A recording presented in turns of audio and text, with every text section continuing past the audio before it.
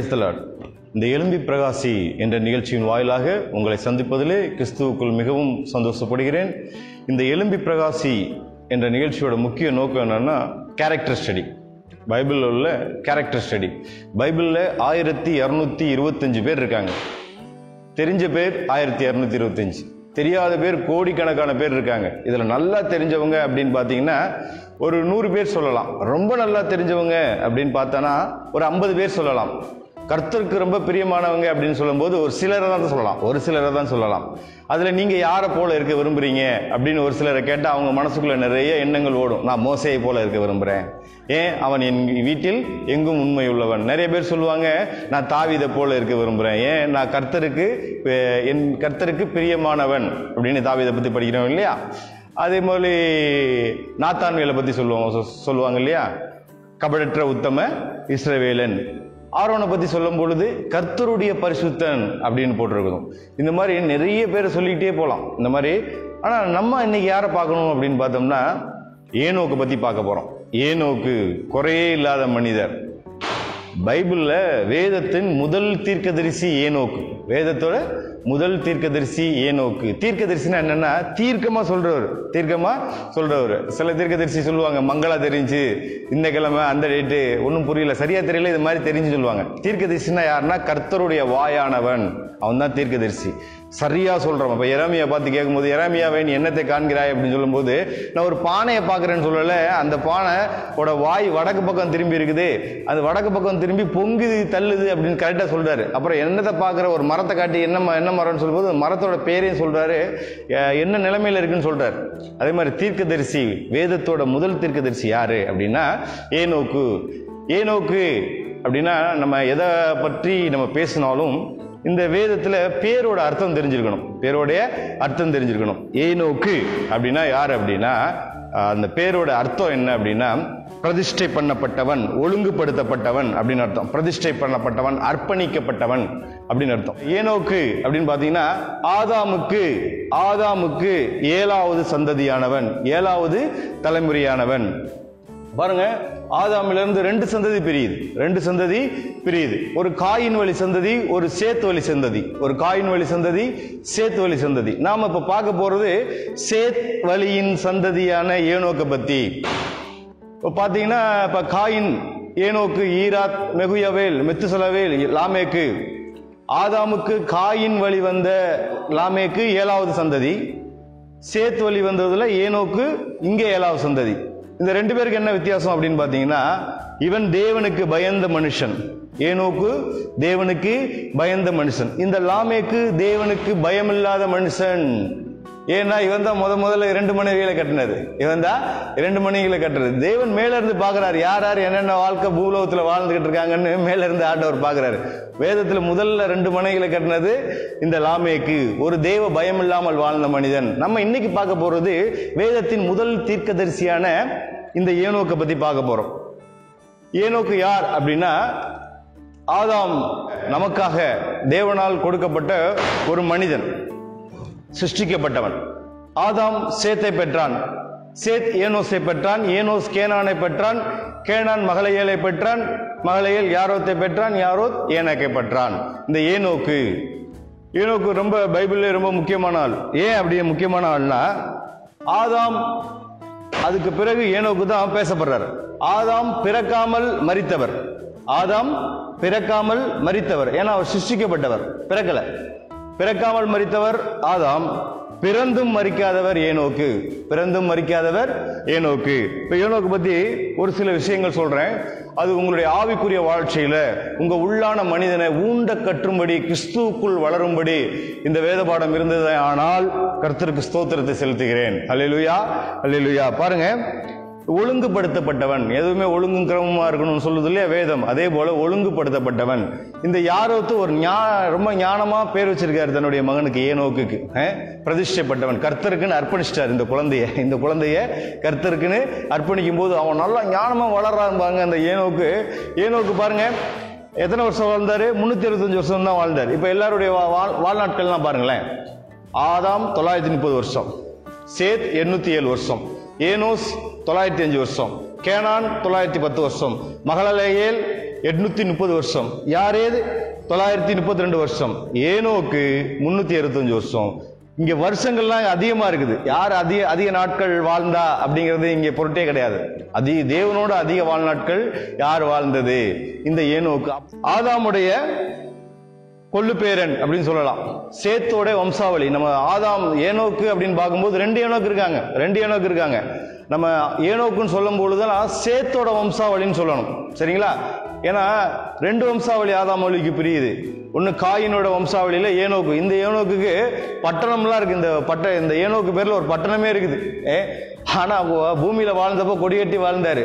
ஆனால் மரணிக்கும் போது அவர் வந்து புகழ் இல்லாமல் மரணித்தார். சரிங்களா? பூலோகத்தில் எப்படி வேணாலும் வாழலாம். ஆனால் பரலோகத்துக்கு போறதுதான் ரொம்ப முக்கியம். பட்டணம் கட்டி வாழ்கிறத விட தேவனுக்கு பிரியமாய் வாழ்றதுதான் ரொம்ப முக்கியம். இந்த மாதிரி ஏனோக்கு பற்றி தான் இந்த ஏனோக்கு பற்றி தான் நம்ம பார்க்க போகிறோம் இந்த ஏனோக்கு ஆதாமுக்கு ஆதாம் அறுநூத்தி இருபத்தி ரெண்டு வயதான போது ஆதாமுக்கு அறுநூத்தி இருபத்தி ரெண்டு வயதான போது ஏனோக்கு பிறந்தார். ஆதாமுக்கு அறுநூத்தி இருபத்தி ரெண்டு வயசாகுது. அறுநூத்தி இருபத்தி ரெண்டு வயசாகுது. அப்பதான் யாரேது என்பவன் ஏனோக்கை பெற்றான். சரிங்களா? இப்ப ஏனோக்குடைய முன்னூத்தி எட்டாவது வயதுல ஆதாம் மறுகிறார் ஏனோக்கு பிறந்து முன்னூத்தி எட்டாவது வயதுல ஆதாம் மறுகிறார் ஆதாம் மறித்து ஐம்பத்தேழு வருடங்கள் ஆதாம் இல்லாம இவர் வாழ்றார். சரிங்களா? ஆனா தேவனோடு வாழ்றார் அது முக்கியம். நல்லா கவனிங்க மறுபடியும் ஒரு தடவை சொல்றேன். ஆதாமுக்கு அறுநூத்தி இருபத்தி ரெண்டு வயதுல யாரு இதுக்கு ஏனோக்கு பிறக்கிறார். ஏனோக்கோட முன்னூத்தி எட்டு வருஷம் இந்த பூமியில இருக்கிறார். ஆதாம் மரித்து ஏனோக்கு தனியா 57 வருடங்கள் தனியா இருக்கிறார். இது ஒரு சின்ன கணக்கு. இந்த ஏனோக்கு மிகுந்த தெய்வ பக்தி உள்ளவன். எப்படி இது யார் இவனுக்கு சொல்லிக் கொடுத்தது அப்படின்னு நம்ம பார்க்கும் பொழுது சந்தேகமே இல்லாம ஆதாம் தான். ஏன்னா முன்னூத்தி எட்டு வருடம் ஆதாம் இவங்க வாழ்ந்துருக்காங்க இல்லையா? அப்ப ஆதாம் நாங்க ஏன் இப்படி ஆனோம்? ஏன் ஏதோ ஒரு இடத்துல இருந்து வெளியே வந்தோம்? தேவன் எப்படிப்பட்டவர்? எப்படி நம்மளோடு பேசுவார்? எப்படி நம்மளோடு உறவாடுவார்? எல்லா நிகழ்ச்சிகளையும் இந்த ஆதாம் தன்னுடைய கொள்ளு எள்ளு பேரனுக்கு சொல்லி கொடுத்துருப்பாரு. ஸோ தேவ பயம் பெற்றோர்கள் மூலியமாக தான் பிள்ளைக்கு வரணும். உடனே எப்படியாப்பட்ட பிள்ளை அழகான பிள்ளையாக இருந்தாலும் தேவ ஞானம் உள்ளே வந்துடாது அது தகப்பன் மூலியமாக தாய் மூலியமாக பெற்றோர் மூலியமாக தான் வரணும். தலைமுறை தலைமுறையாக வளரணும். அதே போல் அந்த ஆதாம் ஞானமாக ஏனோக்குக்கு ஒரு சில விஷயங்களை பல விஷயங்களை கற்றுக் கொடுத்துருக்கிறார். இந்த ஏனோக்கு காணப்படாமற் போனான்னு நம்ம பார்க்குறோம் இல்லையா? இது எதுக்கு அடையாளம் அப்படின்னு பார்த்தீங்கன்னா திருச்சபைக்கு அடையாளமானவன். ஏனோக்கு திருச்சபைக்கு அடைய அடையாளமானவன். ஒரு நாள் திருச்சபை காணப்படாமல் போக போகிறது. இப்போ பார்த்தீங்கன்னா பிறக்காமல் மறித்தவர்கள் ஆதாமும் ஏவாளும். பிறக்காமல் மரித்தவர்கள் ஆதாமும் ஏவாளும். பிறந்து மறிக்காதவர்கள் ஏனோக்கும் எலியாவும். இந்த ஏனோக்கு எலியா யாருக்கு அடையாளம் அப்படின்னு பார்த்தீங்கன்னா இந்த ஏனோக்கு என்பவன் விசுவாசிகளுக்கு அடையாளம். நல்லா கவனிங்க. ஏனோக்கு என்பவன் யாருக்கு அடையாளம்? விசுவாசிகளுக்கு அடையாளம். எலியா என்பவன் யாருக்கு அடையாளம்? ஊழியக்காரர்களுக்கு அடையாளம். ஏனோக்கு விசுவாசிகளுக்கு அடையாளம். எலியா ஊழியக்காரர்களுக்கு அடையாளம். உன்னத பாட்டு. உன்னத பாட்டு ஆறு பதிமூணுல சூலமித்தி இரண்டு சேனைக்கு சமம் அப்படின்னு போட்டிருக்கோம். சூலமித்தி இரண்டு சேனைக்கு சமம். அப்ப சூலமித்தி அப்படிங்கிறது இங்க இந்த உன்னத பாட்டில் யாரை குறிக்குதுன்னா சபையை குறிக்குது. சாலமோன் வந்து இயேசு ராஜாவை குறிக்கிறார். இப்ப சூலமித்தி சபையை குறிக்குதுன்னா அப்ப சபையில யார் இருப்பாங்க? ஊழியக்காரர்களும் விசுவாசிகள் இருப்பாங்க. இவங்க ரெண்டு பேரும் எடுத்துக்கொள்ளப்படுகிறாங்க. இவங்க வந்து இங்க ஒருமையில போட்டிருந்தாலும் பன்மை இவங்க. இப்ப சூலமித்தி இரண்டு சேனைக்கு சமம்னா அவங்க ஊ- சூலமித்தி வந்து ஊழியக்காரரும் சூலமித்தி தான் விசுவாசிகளும் சூலமித்தி தான். சரிங்களா? இவங்க எடுத்துக்கொள்ளப்பட போகிறதற்கு அடையாளமானவர்கள். ஸோ இங்க ஏனோக்கு முன்னூத்தி அறுபத்தஞ்சு வருஷம் வாழ்ந்தான்னு பார்க்குறோம். யார் அதிக வாழ்நாட்கள் உயிரோடு வாழ்ந்தார்கள் என்பது ரொம்ப முக்கியம் கிடையாது. யார் தேவனோட அதிக நேரம் வாழ்ந்தா அதான் முக்கியம். தேவனோட அதிக நேரம் வாழ்ந்தா. இப்போ யார் எதுக்கு யார் எதுக்கு? ஒரு குழந்தை பிறகுது. குழந்தை பிறகுது ஏனோக்கு ஞானமாக பேர் வச்சிருக்காரு ஏனோக்கு அப்படின்னு சொல்லிட்டு. ஒழுங்குபடுத்தப்பட்டவன் பிரதிஷ்டை பண்ணப்பட்டவன். இந்த ஏனோக்குக்கு தன்னுடைய அறுபத்தைந்தாவது வயதில் ஒரு முக்கியமான நிகழ்ச்சி நடக்குது. குழந்தை குழந்தை பிறகுது பாருங்க குழந்தை பிறந்தவன் அறுபத்தஞ்சாவது வயதுல தான் தேவனோட நெருங்கி நெருங்கி பழக ஆரம்பிக்கிறான். ஏன்? அவனுக்கு ஒரு புதிய உறவின் ஆரம்பம் தெரிகிறது. தகப்பன் மகன் குமாரன் தகப்பன் அப்படிங்கிற ஒரு உறவு தெரியுது. தேவனோட நமக்கு இருக்கிற உறவு ஆதாமுக்கும் தேவனுக்கு இருந்த உறவு தகப்பன் மகனை போன்ற உறவு. ஏன்னா ஆதாம் வந்து சன் ஆஃப் காட் அப்படின்னு போட்டிருக்குது. சரிங்களா? இப்போ தேவனுக்கு இந்த அறுபத்தஞ்சு வயதுல இவனுக்கு அந்த வாழ்வில் புதிய ஒரு மாற்றம் வருது. வாழ்வில் வாழ்க்கையில் புதிய மாற்றம் வருது. தேவனோடு சஞ்சரிக்க ஆரம்பிக்கிறான். அப்போ வந்து தேவன் அவனுக்கு நிறைய வே- நிகழ்ச்சிகளை அவனுடைய நடைகளை பார்த்து அவனுடைய நடையை காத்து கொண்டது நிமித்தமாக அவனுக்கு நிறைய ரகசியங்களை சொல்லித்தராரு. நிறைய. அப்போ தன்னுடைய மகனுக்கு பேர் வைக்கணும். பேர் வைக்கும்போது என்ன பேர் வைக்கிறான்? மெத்துசலா. மெத்துசலா அப்படின்னு பேர் வைக்கிறான். அப்போவே அவனுக்கு தெரிஞ்சு தன்னுடைய அறுபத்தஞ்சாவது வயதிலேயே தேவனுடைய திட்டங்கள் எல்லாம் தெரிய ஆரம்பித்து விட்டது. திட்டங்கள் எல்லாம் தெரிய ஆரம்பித்து விட்டது. இந்த மெத்துசலா அப்படின்னா என்ன அர்த்தம்? அப்படின்னா அவன் மறிக்கும் போது அது வரும். மெத்துசலா என்ற பெயரோட அர்த்தம் என்னன்னா அவன் மறிக்கும் போது அது வரும். மித் அப்படின்னா மரணம். சலா அப்படின்னா அது வரும் சீக்கிரம் வரும் அப்படின்னு அர்த்தம். மெத்துசலா அவன் மறிக்கும் போது அது வரும். இவன் எப்போ மறிப்பான் எப்போ எது வரும் அப்படின்னு பார்த்தீங்கன்னா இப்போ பைபிள்லேயே அதிக வாழ்நாட்கள் வாழ்ந்த மனிதர் யார் அப்படின்னு பார்த்தீங்கன்னா மெத்துசலா. தொள்ளாயிரத்தி அறுபத்தொம்போது வருஷம் வாழ்ந்தார். இந்த மெத்துசலாவுக்கு இந்த மெத்துசலாவுக்கு லாமேக்கு பிறக்கும்போது அதாவது நோவாவுடைய அப்பா மெத்துசலாவுக்கு லாமேக்கு பிறக்கும்போது நூற்றி எண்பத்தி ஏழு வயசு. அப்புறம் இந்த லாமேக்கு நோவா பிறக்கும்போது நூற்றி எண்பத்தி ரெண்டு வருஷம். மொத்தம் முந்நூற்றி அறுபத்தொம்போது வருஷம். மொத்தம் முந்நூற்றி எண்பது முந்நூற்றி அறுபத்தொம்போது வருஷம். இந்த நோவா அறுநூறாவது வயதில் தான் இப்போ வெள்ளத்தை பார்க்குறாரு. அப்போ மொ- மொத்தம் தொள்ளாயிரத்தி அறுபத்தொம்போது வருஷம். தொள்ளாயிரத்தி அறுபத்தொம்போது வருஷம் கழித்து உடனே வெள்ளம் வருகிறது. சரியா மெத்துசலா இறக்குறாரு இறந்து ஒரு சில காலத்திலேயே வெள்ளம் வந்துருச்சு. அதான் அவன் மறிக்கும் போது அது வரும். தீர்க்கன் தீர்க்கமாக தீர்க்க தரிசனத்தோடு தன்னுடைய மகனுக்கு பேர் வைத்து சென்றிருக்கிறார். சரிங்களா? இந்த ஏனோக்கு பற்றி எத்தனை வசனம்னா பைபிளில் பதினோரு வசனம் தான் போட்டிருக்குது.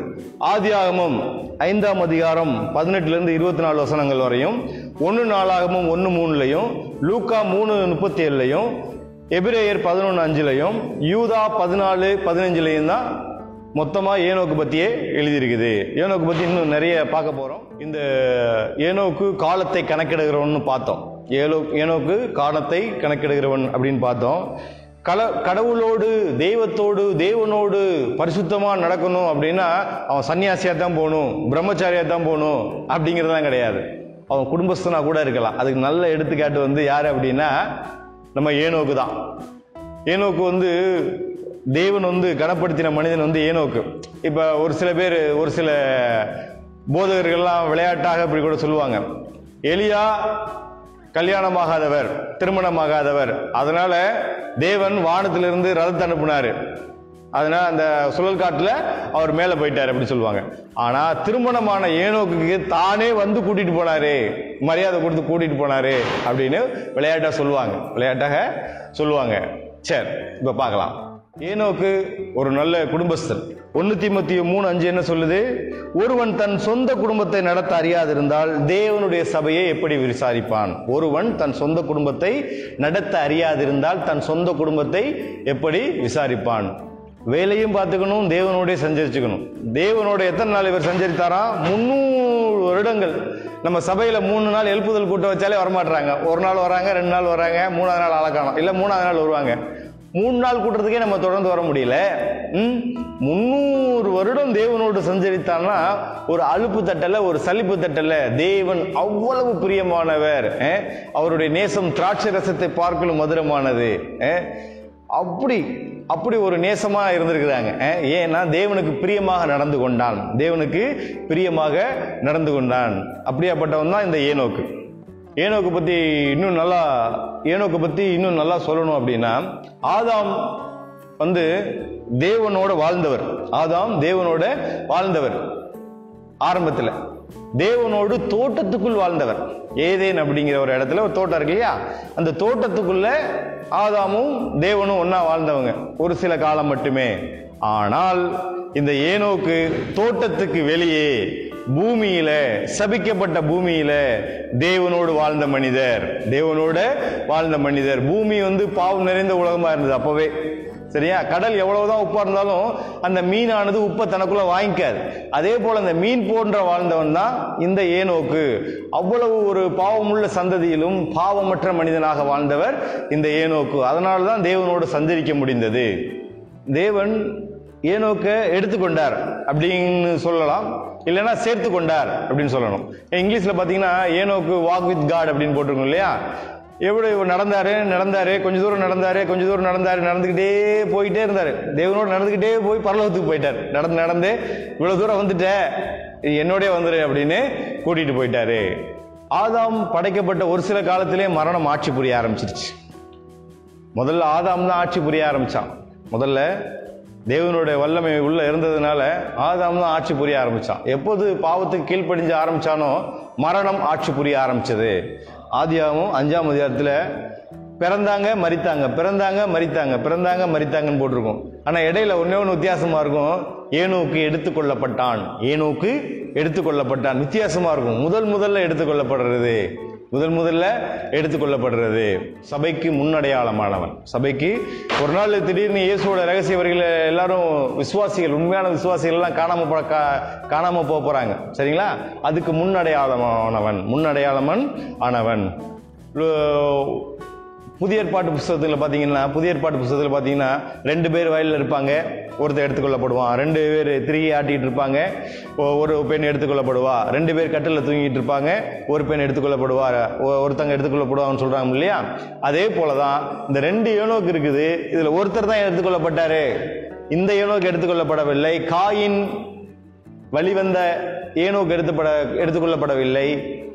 சேத் வழிவந்த ஏனோக்கு தான் எடுத்துக்கொள்ளப்படுவார் எடுத்துக்கொள்ளப்பட்டார். அதே போல யாரு விசுவாசத்தோட வாழ்றாங்களோ அவங்க தான் எடுத்துக்கொள்ளப்படுவாங்க. அனுதினமும் கர்த்தரோடு கர்த்தரோடு நடப்பதால் வரும் ஆஸ்- ஆசீர்வாதத்தை நமக்கு காண்பித்தவன் இந்த ஏனோக்கு. அனுதினமும் தேவனோடு நடந்தா என்னென்ன ஆசீர்வாதம் வரும்? அதுக்கு முன்னடையாளம் தான் இந்த ஏனோக்கு. சாட்சி பெற்றவர்.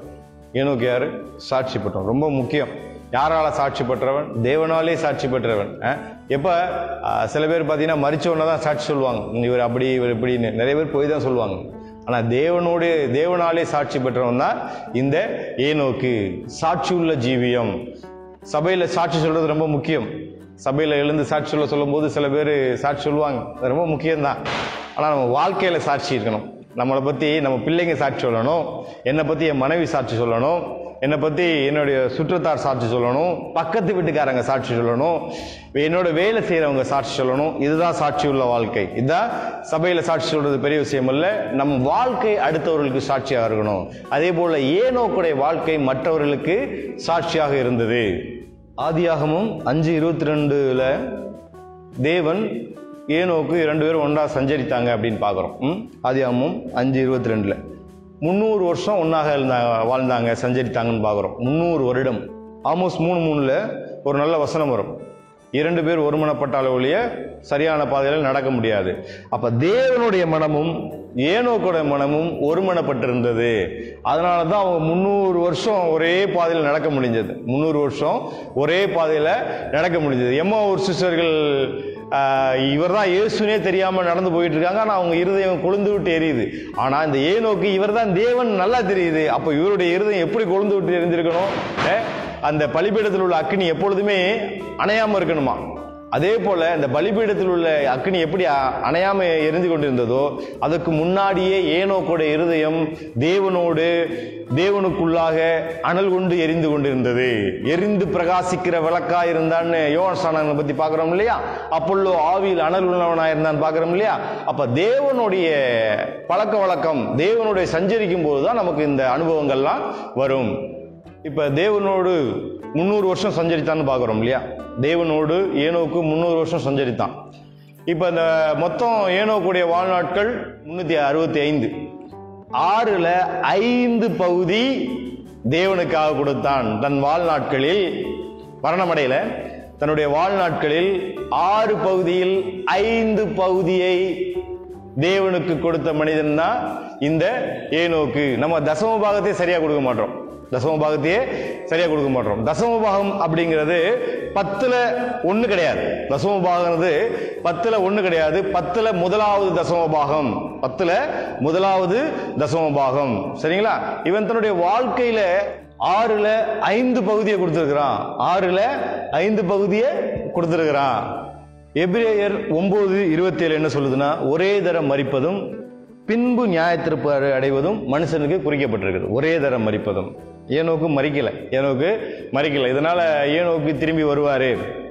ஏனோ கூட எலியாவும் மறிக்காமல் போன எலியாவும் திரும்பி வருவார். அப்படின்னு நிறைய பேர் சொல்கிறாங்க இல்லை இல்லை இயேசுவோட காணப்பட்ட மருவமலையில் காணப்பட்ட அந்த எலியாவும் மோசையும் தான் வருவாங்க ஏனோக்கு வரமாட்டாரு அப்படின்னு சொல்லுவாங்க. ஏனோக்கு வரலாம் எலியா வரலாம்.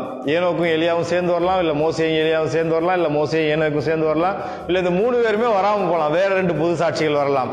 இந்த மாதிரி நிறைய தேரிஸ் போயிட்டு இருக்குது அது நமக்கு தேவையில்லை. அந்த ரெண்டு சாட்சிகள் வரும்பொழுது நம்ம பார்த்து கொள்ளலாம் தகப்பனுடைய புண்ணியம் வந்து மகனை காக்கும். தகப்பனுடைய நற்செயல் வந்து மகனை காக்கும். அவன் சந்ததி சந்ததியை காக்கும். இப்போ பார்த்தீங்கன்னா ப- பைபிள்லேயே அதிக நாட்கள் உயிரோடு வாழ்ந்தவர் யார்? மெத்துசலா. தொள்ளாயிரத்தி அறுபத்தொம்போது வருஷம் வாழ்ந்தார். தொள்ளாயிரத்தி அறுபத்தொம்போது வருஷம். இன்னும் ஒரு முப்பத்தோரு வருஷம் வாழ்ந்திருந்தாருன்னா ஆயிரம் வருஷம் ஆயிருக்கும். சரிங்களா? ஆயிரம் வருஷம் வாழ வாழ முடியலன்னு ஒரு வருத்தம். என்னடா ஆயிரம் வருஷம் வாழ்ந்தா நல்லா இருந்திருக்குமே. அது ஒரு ரவுண்டாக போயிருக்குமே அப்படின்னு பார்க்குறோம் ஆனால் இயேசுவோட அரசாட்சியில் ஆயிரம் வருஷ காலம் நம்ம அவரோட தான் இருக்க போகிறோம் அதுக்கப்புறம் நித்திய நித்தியமாக வாழ போகிறோம் ஸோ இப்போ இந்த பைபிள்லேயே அதிக வாழ்நாட்கள் கொண்ட மனிதர் மெத்துசலா தொள்ளாயிரத்தி அறுபத்தொன்பது வருஷம். யாரோட மகன்? தகப்பன் புண்ணியத்தில் இது வந்தது. தகப்பனுடைய புண்ணியத்தில் வந்தது. ரெண்டாவது அதிகமாக வாழ்ந்தது யாருன்னா இந்த யாரே இது? தொள்ளாயிரத்தி அறுபத்தி ரெண்டு. ஏ தகப்பனுக்கும் மகனுக்கும் ஒரு நல்ல பிள்ளை வந்து அப்பாவுக்கும் பேர் வாங்கி தருவார் தன்னுடைய பிள்ளைக்கும் பேர் வாங்கி தந்துருவார் வருவார். அப்படியாப்பட்ட மனிதர் தான் இந்த ஏனோக்கு. காலத்தை கணக்கிடுகிறவர். சங்கீதம் அறுபத்தெட்டு இருபதுல ஒரு அழகான வசனம் வரும். சங்கீதம் அறுபத்தெட்டு இருபதுல ஆண்டவராகிய கர்த்தரால் மரணத்திற்கு நீங்கும் வழிகளும் உண்டு. மரணத்திற்கு நீங்கும் வழிகளும் உண்டு அப்படின்னா இது ஒரு ஆளுக்கு தான் பொருந்தும். ஏனோக்குக்கு எளியாவுக்கும் பொருந்தும். ஏனோக்குக்கு இது சரியாக பொருந்தும். மரணத்துக்கு நீங்கும் வழிகளும் உண்டு. கர்த்தர் அப்படியே தூக்கிட்டு போயிட்டார். கர்த்தர் அப்போ எப்படி பிரியமாக வாழ்ந்திருப்பார்? தன்னுடைய சுயத்தை கட்டுப்படுத்தி தேவனுக்காக எப்படி வாழ்ந்திருப்பார்? சுயத்தை கட்டுப்படுத்துறது ரொம்ப முக்கியங்க. ஒரு செல்ஃப் கண்ட்ரோல் வேணும். செல்ஃப் கண்ட்ரோல் ஒழுக்கம் சுய ஒழுக்கம் இருக்குது. ஒழுக்கம் அப்படின்னா ஒரு நாலு பேர் மத்தியில் அம்மா அப்பாவுக்கு மத்தியில் நண்பர்கள் மத்தியில் சமூகத்தின் மத்தியில் ஒரு கூட்டத்தின் மத்தியில் ஒழுக்கமாக நடந்துக்கிறது. அது ஒழுக்கம். சரிங்களா? யாருமே இல்லாத பொழுது ஒரு வெளியில் போகிறோம் ஒரு ஒரு இருட்டறையில் இருக்கிறோம். ஒரு தனியாக இருக்கிறோம். ஒரு வெளிநாட்டில் இருக்கிறோம். அப்போ ஒழுக்கமாக நடக்கிறோம் பார்த்தீங்களா அதான் சுய ஒழுக்கம். சரிங்களா? இந்த ஒழுக்கமாகவும் நடந்த ஒரு ஏனோக்கு சுய ஒழுக்கமாகவும் நடந்த ஒரு ஏனோக்கு ஏன்னா இருளில் இருப்பதை அவர் அறிவார் வெளிச்சம் அவரிடத்தில் தங்கும் மறைபொருளானது எல்லாம் தேவனுக்கு தெரியும். அவர் ராஜாக்களை தள்ளி ராஜாக்களை ஏற்படுத்துகிறவர் காலங்களையும் சமைகளையும் மாற்றுகிறவர் இருளில் இருப்பதை அவர் அறிவார் வெளிச்சம் அவரிடத்தில் தங்கும். ஞானிகளுக்கு ஞானத்தையும் அறிவாளிகளுக்கு அறிவையும் தருகிறவர். சரிங்களா? அவருக்கு எல்லாமே தெரியும் சகலமும் தெரியும். அதனால தான் எடுத்துட்டு போனாரு உத்தமன் உத்தமனாக இருந்தார் எடுத்துகிட்டு எடுத்துட்டு போயிட்டார். ஏனோக்கு ஏன் எடுத்துக்கொள்ளப்பட்டான்னு முக்கியமானது தேவனுக்கு விசுவாசமாக இருந்தான். ஒரு விசுவாசமாக இருந்தான். ரொம்ப விசுவாசத்தில் ரொம்ப நம்பிக்கையாக இருந்தான். ஏன்னா விசுவாசத்தை துவக்கிறவன் அவர் தான் விசுவாசத்தை முடிக்கிறவர் அவர் தான் வசனம் சொல்லுது இல்லையா? விசுவாசத்தை இந்த ஏனோக்குள்ளே துவக்கி வச்சவரே யாரு? தேவன். ஏனோக்குக்குள்ள விசுவாசத்தை துவக்கி வச்சவர் யாரு? தேவன். முக்கியமான ஒரு சாட்சி என்னன்னா தேவனுக்கு பிரியமாக இருந்தான்னு வசனம் போட்டிருக்கு. தேவனுக்கு பிரியமாக இருந்து சாட்சி பெற்றான்னு ஒரு வசனம் போட்டிருக்கு. சங்கீதம் நூற்றி நாற்பத்தி மூணு பத்தில் உமக்கு பிரியமானதை செய்ய எனக்கு போதித்தருளும் சங்கீதக்காரன் சொல்கிறான் ஏன்னா அந்த சங்கீதக்காரன் ஞானவான் பாருங்க ஒரு அறிவாளி விவரம் புரிஞ்சவன் ஏன்னா தேவனுக்கு பிரியமானதை செய்யும் பொழுதுதான் தேவன் நம்ம மேலே பிரியமாக இருப்பார். நம்ம மேலே பிரியமாக இருந்தால் தான் கூட்டி சேர்ப்பார். சரிங்களா?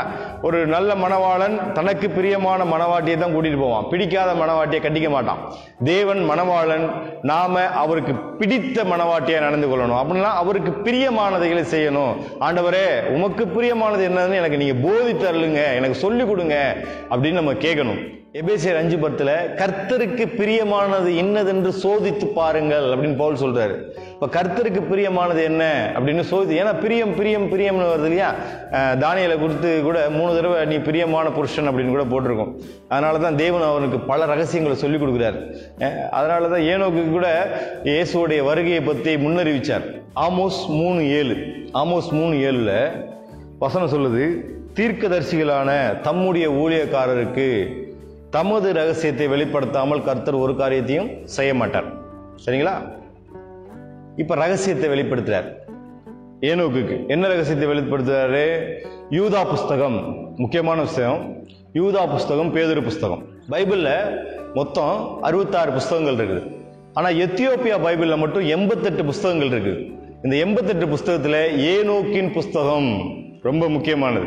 ரொம்ப அந்த பைபிளில் மட்டும்தான் எண்பத்தெட்டு புஸ்தகம் இருக்குது அதில் ஏனோக்கின் புஸ்தகம் சேர்த்து சேர்த்துருக்காங்க. அந்த எண்பத்தெட்டு புஸ்தகத்தில் யூதாவும் பேதுருவும் கட் காப்பி பேஸ்ட் பண்ணி ஒரு வசனத்தை எடுத்து வச்சிருக்காங்க. பேதுரு புஸ்தகம். ரெண்டாம் அதிகாரம் நான்காம் வசனம். பாவம் செய்த தூதர்களை தேவன் தப்ப விடாமல் அந்தகார சங்கிலியிலே கட்டி நரகத்திலே தள்ளி நியாய தீர்ப்புக்கு வைக்கப்பட்டவர்களாய் ஒப்பு கொடுத்து இந்த லைன்லாம் எங்கேருந்து எடுத்தது அப்படின்னு பார்த்தீங்கன்னா ஏனோக்கின் புஸ்தகத்திலேருந்து எடுத்துக்கொள்ளப்பட்டது. சரிங்களா? பேதுரு ரெண்டாம் நிருபம் ரெண்டாம் அதிகாரம் நாலாம் வசனம். அடுத்து பார்த்தீங்கன்னா யூதா புஸ்தகம் பதினான்கு பதினைந்து. இந்த பதினான்கு பதினைந்து இருக்கு இல்லையா? இந்த பதினாலாம் வசனம் ஏனோக்கின் புஸ்தகத்திலிருந்து யூதா எடுத்து இங்கே எழுதியிருக்கிறார். என்ன எழுதியிருக்கிறாரு? ஆதாமுக்கு ஏழாம் தலைமுறையான ஏனோக்கும் இவர்களை குறித்து இதோ எல்லோருக்கும் நியாய தீர்ப்பு கொடுக்கிறதற்கும் அவர்களின் அவபக்தி உள்ளவர்கள் யாவருக்கும் அவபக்தியாக செய்து வந்த சகல அவபக்தியான கிரியையில் நிமித்தமும். இப்படி படிச்சுக்கிட்டே இருக்கும் பொழுது இதெல்லாம் எங்கேருந்து இருந்து ஏனோக்கின் புஸ்தகத்திலிருந்து எடுக்கப்பட்டது. எத்தியோப்பிய பைபிளில் இது எழுதியிருக்குது. இது தள்ளுபடி ஆகமத்தில் இருக்குது. இதனை பற்றி நம்ம பெருசாக டீட்டெயிலெலாம் தெ- தெரிய தேவையில்லை. இது வந்து தேவனே விலக்கி வச்சிருக்கிறாரு. வேதம் அமைதலாக இருக்கும்போது நாமம் அமைதலாக இருப்பது நல்லது. ஆனால் ஒரு சில காரியங்கள் மட்டும் நம்ம தெரிஞ்சுக்கணும். ஏன்னா வ- அந்த வசனம் இதுலேருந்து எடுத்திருக்காங்கன்னு சொல்கிறாங்க இல்லையா? ஏனோக்கு புஸ்தகம் நூற்றி எட்டு அதிகாரங்களை கொண்ட மிகப்பெரிய புஸ்தகம். நூற்றி எட்டு அதிகாரங்களை கொண்ட மிகப்பெரிய புஸ்தகம். இந்த ஏனோக்கோட புஸ்தகத்தில் தேவதூதர்களுடைய சிறப்பு இயல்புகள் நரகம் எப்படி இருக்கும் சொர்க்கம் எப்படி இருக்கும் தேவதூதர்களுடைய பணி என்ன இதெல்லாம் தெளிவாக போட்டிருக்கிறாங்க. அது சில பேர் நம்ம வலைத்தளங்களில் நம்ம போய் பார்த்தீங்கன்னா அந்த ஏனோக்கு புத்தகத்தை பற்றி என்னென்ன போட்டிருக்காங்கன்னு நமக்கு நல்லா தெரியும். மேலும் இந்த ஏனோக்கு புத்தகத்தில் விழுந்த தூதர்கள் யார்? அவங்க என்ன தப்பு பண்ணாங்க? இப்போ விழுந்த தூதர்களுடைய நிலைமை என்ன? முடிவில் அவங்க என்ன ஆக போகிறாங்க இதெல்லாம் இதில் எழுதியிருக்கு. ம்? நோவாவுடைய ஜரப்பலயத்தை பற்றி எழுதியிருக்குது. இயேசு எப்போ வருவார் அப்படிங்கிறது எழுதியிருக்குது. நியாய திருப்பு நாள் என்ன? வானங்கள் பற்றிய ரகசியங்கள். இதில் ரொம்ப முக்கியமாக வானங்கள் பற்றிய ரகசியங்கள் நிறைய இருக்குதான். வேதத்தை பற்றி நம்ம நிறைய தெரிஞ்சுக்கணும். இரவும் பகலும் வேதத்தில் தியானிக்க தியானமாக இருக்கிற மனுஷன் பாக்கியவான் அப்படின்னு போட்டிருக்கு இல்லையா அவன் இலையுதிரா மரத்தை போல இருப்பான்னு போட்டிருக்கு இல்லையா அப்போ இலையுதிரா மரம் என்ன அப்படின்னு பார்த்தீங்கன்னா சில பேர் சில விளக்கங்கள் சொல்லுவாங்க. ஆனால் உண்மையிலே இலையுதிரா மரம் அப்படின்னா என்ன தெரியுமா? ஜீவ விருட்சம். ஜீவ விருட்சத்துக்கு மரணம் கிடையாது. அதே போல் நம்ம வேதத்தை தியானிக்கும் பொழுது தேவனுக்கு பிரியமானவர்களாக மாறிடுவோம். நாம தான் ஜீவ விருட்சத்தின் கனிகளை புசிக்கிறவர்களாக இருப்போம். ஜீவ விருட்சமாக இருப்போம். ஆமென். ஏனோக்கு எல்லோரை போலவும் வாழவில்லை. அதே போல ஏனோக்கு எல்லோரை போலவும் மறிக்கவில்லை எல்லோரை போலவும் வாழவில்லை. அவன் எல்லோரை போலவும் மறிக்கவில்லை அவன் விசேஷ விதமாக தேவனோடு வாழ்ந்தான். விசேஷ விதமாக தேவனோடே சென்று விட்டான். சில பேர் தான் குடும்பம் குடும்பம் குடும்பம்னு இருப்பாங்க. தேவனை அவங்க பார்க்க மாட்டாங்க. சில பேர் குடும்பத்தை பார்த்தா தேவனோடு சஞ்சரிக்க முடியாதுன்னு சன்னியாசியாக போயிடுவாங்க சரிங்களா ஆனால் இந்த இந்த ஏனோவுக்கு விசேஷமானவன் விசேஷித்தவன் குடும்பத்தையும் நல்லா நடத்திக்கிட்டு ஏ, பிள்ளை குட்டிகளை பெற்றான் போட்டிருக்கு இல்லையா? குமாரன் குமாரத்திகளை பெற்றான் பார்க்குறது இல்லையா? குடும்பத்தையும் நல்லா நடத்திக்கிட்டு தேவனோடையும் நல்லா நடந்துக்கிட்டான். விசேஷிதமானவன் ஏனோக்கை பற்றி இவ்வளோ நேரம் நம்ம பார்த்தோம். ஏனோக்கை பற்றி இவ்வளோ நேரம் பார்த்தோம். ஏன்னா ஏனோக்கு பிரதிஷ்டை பண்ணப்பட்டவன். முக்கிய காரணம் என்ன? குழந்தை பிறந்தவொடனே இது தேவனுக்கு தான் அப்படின்னு நம்ம பிரதிஷ்டை பண்ணும் பொழுது தேவனே அந்த குழைய குழந்தையை வழி நடத்துவார். பிரதிஷ்டை ரொம்ப முக்கியம். நம்ம பிரதிஷ்டையை நம்ம காத்துக்கொள்ளணும். நமக்குன்னு ஒரு அழைப்பு இருக்கும் இல்லையா? அந்த அழைப்பை காத்துக்கொள்ளணும். தேவனோ தேவன் நம்ம மீதாக ஒரு திட்டத்தை வச்சுருப்பார். ஏவாளை பார்த்து சொல்கிறார் இல்லையா? அவர் திட்டத்தை குலைத்து போட்ட ஏவாளை பார்த்து நீ இப்படி செய்தது என்ன? அப்படின்னு. ஆனால் பவுலை பார்த்து என்ன சொல்கிறாரு நான் தெரிந்து கொண்ட பாத்திரம் அப்படின்னு சொல்கிறாரு இல்லையா? அதே போல் நாம் தேவன் தெரிந்து கொண்ட பாத்திரங்களாக இருக்கணும். தேவன் தெரிந்து கொண்ட பாத்திரங்களாக இருக்கணும். ஏனோக்கு எப்படி தேவனோடு நடந்தானோ சஞ்சரித்தானோ வாழ்ந்தானோ திரும்ப தேவனோடையே சென்று விட்டானோ அதே போல் நாமளும் தேவனுடைய வருகையில் செல்ல செல்லக்கூடியவர்களாக ரகசிய வருகையில் செல்லப்படுவர்களாக காணப்படணும். அப்படின்னா இந்த ஏனோக்கு போல நம்ம வாழ கற்றுக்கொள்ளணும் ஏனோக்கு போல வாழ கற்றுக்கொள்ளப்படணும் ஏனோக்கு எப்படி தன் மகனுக்கு பேர் வைத்தது மூலியமாக தீர்க்கதரிசி என்று தன்னை நிரூபித்தானோ அதே போல நாமும் தேவனிடமிருந்து செய்திகளை பெறுபவர்களாக இருக்க வேண்டும். தேவனிடமிருந்து செய்திகளை பெறுறது ஒன்றும் ஒரு சாதாரண காரியம் கிடையாது. சரியா? தேவன் அது பரத்திலிருந்து வருது. அது பரத்திலிருந்து வருது. அப்போ பரத்திலிருந்து வருதுன்னா அப்போ நாம் பரத்துக்குரியவர்களாக இருக்கணும். பரத்துக்குரியவர்களாக இருக்கணும். பரத்துக்குரியவர்களாக இருந்தால் தான் நாம் தேவனிடம் சென்றடைய முடியும். ஏனோக்கு தேவனோடே வாழ்ந்தார் தேவனோடு சென்று விட்டார். இவ்வளோ நேரம் நம்ம ஏனோக்கை பற்றி தியானித்தோம் இது வந்து உங்களுடைய ஆவிக்குரிய வாழ்க்கையில் ஒரு சில மாற்றத்தை கொண்டு வரும்னு நான் கருத்தருக்குள்ளே நம்புகிறேன் கருத்தர் உங்களை ஆசீர்வதிப்பாராக. ஆமென்.